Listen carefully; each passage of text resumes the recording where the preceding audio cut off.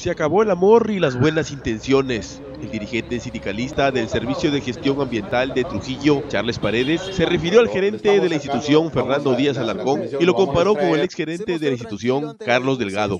Bueno, siempre hemos buscado el diálogo una sola vez, cuando lo buscamos, Rehúsa no quiere conversar con nosotros y, y vimos, ustedes como, como medio de comunicación están viendo su trabajo, ¿no? un trabajo ineficiente, ¿no?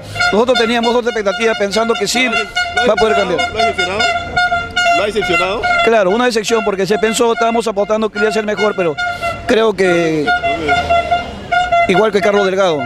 Del mismo modo, se refirió sobre las compactadoras y material en mal estado que perjudica el servicio que esta institución brinda a la ciudad. Eh, nosotros hicimos una denuncia pública de que la empresa Segat o la OPE Segat eh, había escondido compactadoras que prácticamente ellos canibalizaron, ¿no? Entonces todo esto se ha hecho adrede, ¿para qué? Para llevar su gatancia, tercerización.